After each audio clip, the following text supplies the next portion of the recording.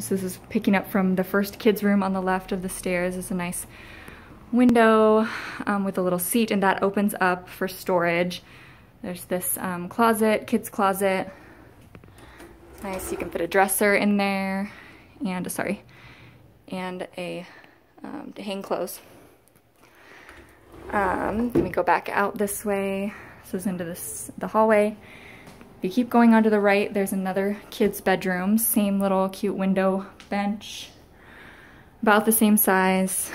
Um, carpet looks nice. Same kind of closet. I'm not to open it. It's the same size. Um, I really like those window benches. They're cute. oh, and here's the lighting. I guess I might not have shown that to Shari. Um, some more lighting too. So the hall bathroom for like the kids, there's a tub and a shower.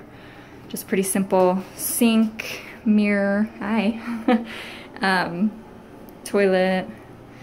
But you know, you can practice uh, put in a new toilet in your house. The shower head's pretty high. It's not low.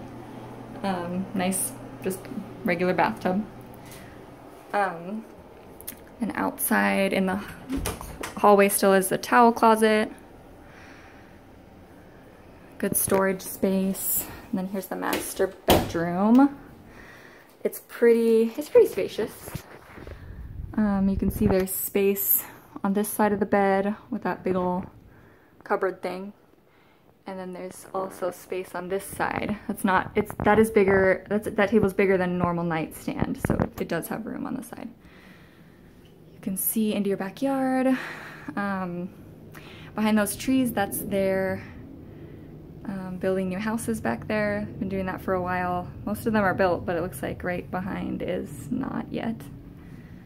Um, okay, then just the closet. Pretty good sized closet. Um, you can fit a pack and play like Shari was asking. Some hanging stuff can add more to accommodate more clothes, I'm sure. Kind of get a good idea. Um, oh, and it looks like you can go up into the attic in there. Um, and then here's the master bathroom. Two sinks, one set of drawers, nice big mirror, lighting up there. There's a window, so make sure you close those blinds when you're taking a bath, Mike.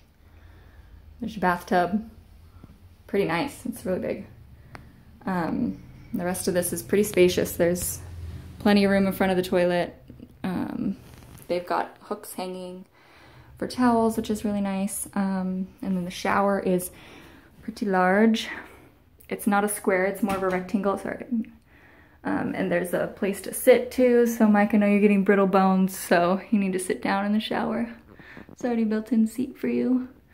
And then um, the shower head's pretty high, pretty high up there. Um, I always look at that when I go to a house. Make sure it's not a dwarf shower. We're going back out. Just a closer look at this nice flooring up here. Um, okay. And then you go down the stairs again. Bye-bye.